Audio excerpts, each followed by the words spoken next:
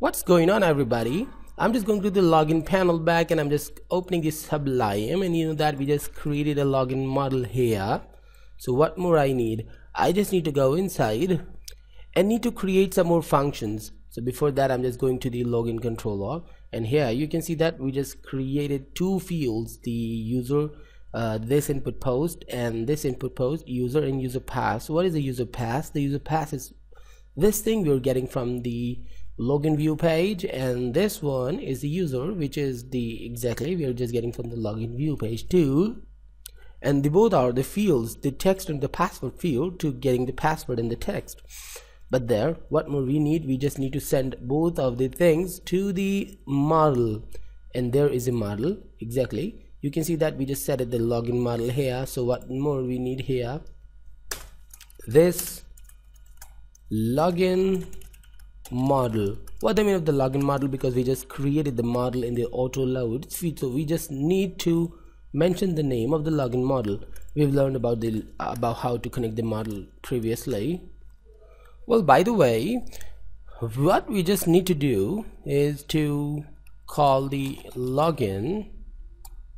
Wait for a while. I'm just going there to the login model and there we just didn't create any specific class we need to create a class or actually the function here. So the public function. Now what the name of this function should be I'm just typing login info and then you know that the, the way how we do this. Now I'm just going there and actually the login info and there. We're just calling the login info function here. And what we're just sending to the login info page. Here you can see that the, this input post and this input post the end user and user password. This name is user and this is the password. In the way of parameters I'm just sending the user and the password too as you can see uh, and what more we need? We just don't need to do any more thing. We just need to go to the login model to design this area.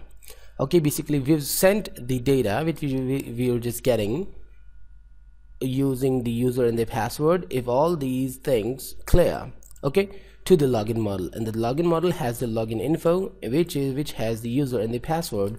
I'm going to the login model here and I'm just uh, opening this one first and then going there. And if you if you just remember that what we just got from that page the user and the password we need to rectify this spelling so the password and we just need to go inside this and what more and then what we need you know that we just if it just I just go to the auto load and there is the login model and there is a URL the database we just loaded the database too and uh, because we just connected the database already we just need to type this and the db you know that we are just setting the db class uh, the db method and then the query where what we're just matching here by using this where function or where clause I'm just going there and where username where you know that the username username equal to user and at the comma. And the other thing we are just matching two things you know that the user password. What is a password field? If I just go to the browser and the password this is a user password. This field should be in the matching of the password. Looking pretty perfect. And add a semicolon and just press enter. And run equal to again this db and you know that? Get from which table you want to get the data? By uh, using these validations these where clauses. I just want to get the data from the user info the database we have created here you can see that the user info so user info that is super perfect. And then we need to check it out that what the result I'm getting. So if run and I'm running a function here the num rows okay this is a function is equal to 1 or you can type more than 0 whatever you prefer. So this should happen now I'm just gonna return something here. Return oh yes this is perfect run raw oh sorry about that. Yes this is what I just want. Raw number zero. It the first raw.